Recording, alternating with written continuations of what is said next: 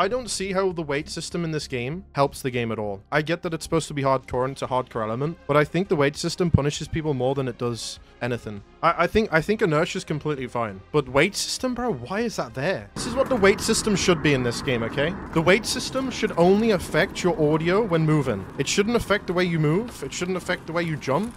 It shouldn't do any of that. Why? Because it's a video game. It's not a real-life military simulator, bro. Yes, it's got realistic elements, but bro, you guys forget all of the events that we have every year. We've got a boss that spawns in that shoots you through five walls across the map. We've got a boss that spawns in that has infinite HP that you can't kill, that's got reindeers coming out of his head right? Those things contradict all of that stupidity that's in the game. Like, th there's many things like that in the game anyway, besides what I'm saying, but it's just like, the weight system shouldn't be in, man. I don't think it should ruin your, like, gameplay loop at all. And it does. It completely ruins it as a new player.